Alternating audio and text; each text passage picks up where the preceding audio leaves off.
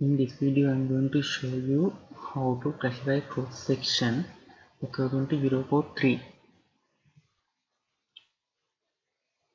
Okay, we have to determine the section classification for this section and steel grade is S235.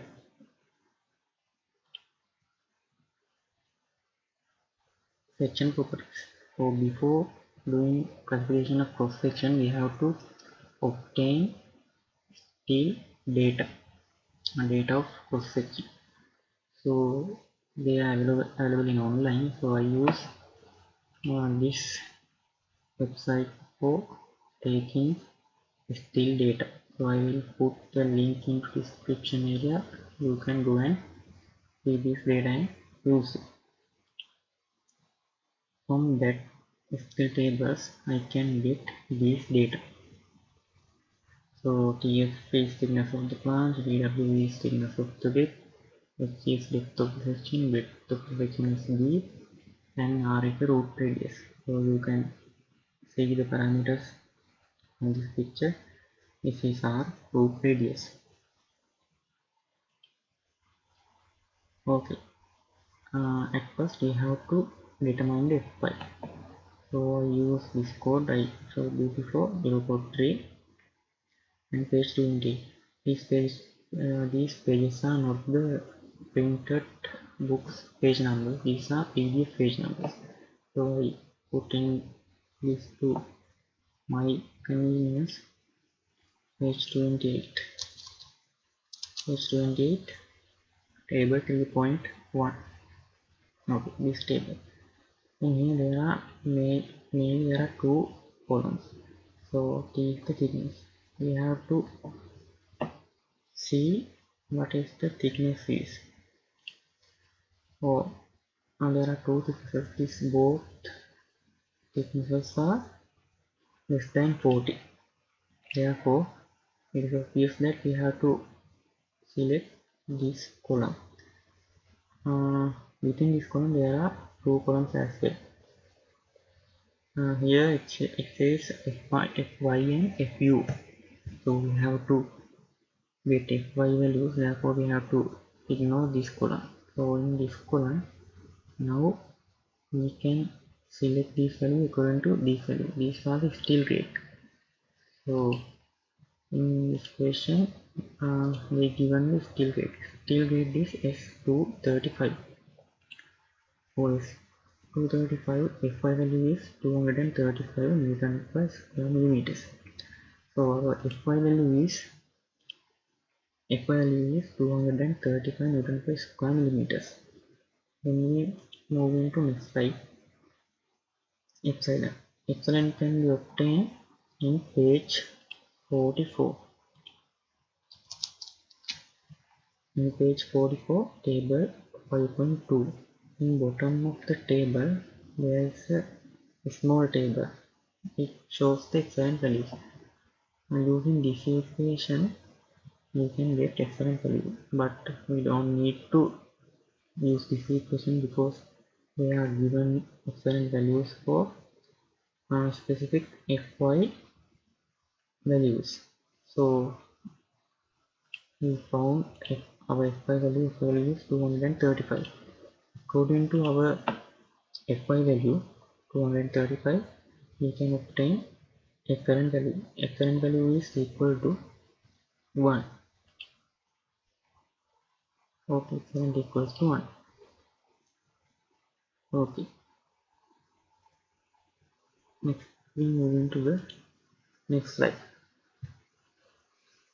Now we have to check the flange. So we will do it under bending and compression. First we do under bending flange check so for that you have to go page 45 table 5.2 next page table 5.2 here it is show um, outstand flanges so for flange check we have to use this table. So it is said that outstand flanges another table is for web right? Okay. Uh, from this table we are, we, are going to use this column. Part subject to compression. This says bending but there are no column for bending. For bending as well as the compression we use this same column. So in this column there are three requirements if this requirement is satisfied class is class 1 if this requirement is not satisfied we have to jump and scroll and check this requirement this requirement then this, this requirement is satisfied class is class 2 or this requirement also not satisfied we have to jump this row so we see how it works so first we have to know what are these parameters? These parameters are explained in this diagram. So our section is this section this welded section. So you can see see this part right? So at first we have to determine the c. C equals b minus tw minus 2r over 2 so I hope you can understand how we get this part. So we have to deduct tw and 2r from bn divided into 2 so we get this value. So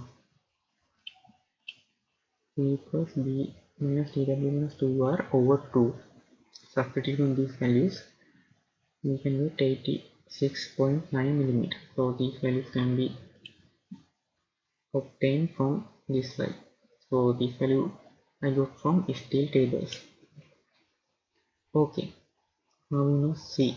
TF is thickness of the flange so by substituting values we can get C over T F equals 4.08 okay. Now we know C over T next 9 epsilon 9 epsilon T equals to 9 times 1 it, it is equals to 9 so it is obvious that C over TF is less than 9 epsilon because C over TF equals to 4.08 9 epsilon equals to 9 this is greater than this one.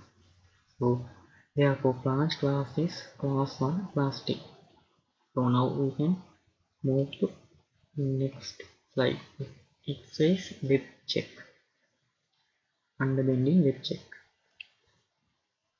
So for that you have to go to page 44 table 5.2